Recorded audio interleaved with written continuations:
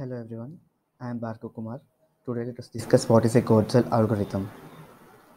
So, Goertzel algorithm is named after a scientist named Goertzel and it is used for DFT calculation. Now let us see what actually the, the Goertzel algorithm says.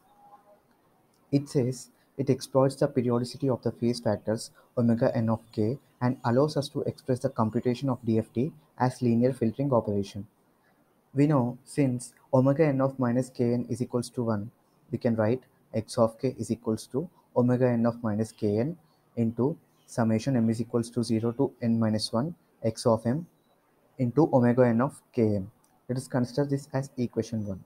We already know omega n of minus kn is equals to 1, so it doesn't affect if we take this factor inside the summation and we write equation 2 as x of k is equals to summation m is equals to 0 to n minus 1 x of m omega n minus k of n minus m.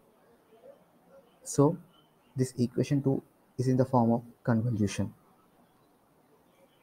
So let us consider yk of n is equals to summation m is equals to 0 to n minus 1 x of m omega n of minus k of n minus m and the impulse response is h of k of n hk of n is equals to omega n of minus kn into u of n here u of n is the discrete time representation of a step step response.